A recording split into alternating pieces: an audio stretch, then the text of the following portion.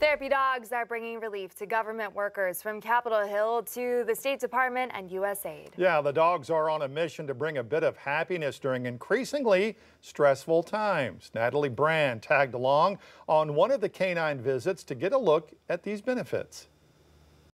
They travel to some of the most powerful, high stress jobs in the nation's capital oh wow. to deliver a needed pause. It's a super popular day whenever we get the notices. Therapy dogs from the nonprofit organization PAL provide cuddles, comfort, but most importantly, a bit of self care. By taking care of themselves, I think they may be in a better place to do the work that they're doing. Sharon Forrance works at the Staff Care Service Center for the U.S. Agency for International Development. She says the dog's twice a month visits have the added bonus of drawing people to her department. But it also allows us to talk about the programs that we have for all of the staff members here and, and their family members. There's such a need, there's a big demand. Heather Gomes, executive director of PAL, says the pups and their volunteer handlers also visit the State Department weekly, as well as the U.S. Senate and Capitol Hill police officers on holidays. I think it helps alleviate burnout for sure. We need to take a break. We can't be running on adrenaline